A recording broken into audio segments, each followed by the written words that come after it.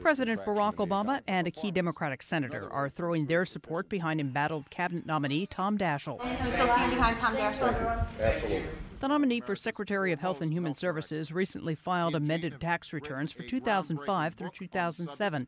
He reported $128,000 in back taxes and nearly $12,000 in interest. My first reaction is what are these people thinking? Since 1992, with Zoe Baird uh, losing her efforts to become the Attorney General under the Clinton administration, everybody in Washington knows taxes are a major issue. In a letter to the Senate Finance Committee, Daschle wrote, quote, I am deeply embarrassed and disappointed by the errors that required me to amend my tax returns.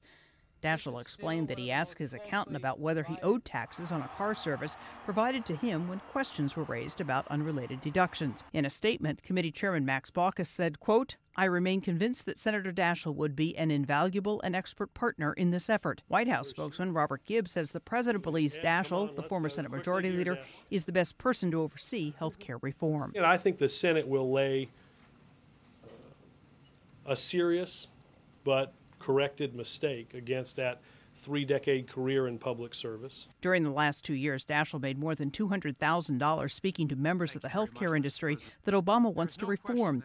The speaking fees were just a portion of the more than $5 million he earned during the same period as he advised health insurers and hospitals and worked in other industries. Diane Kepley, The Associated Press.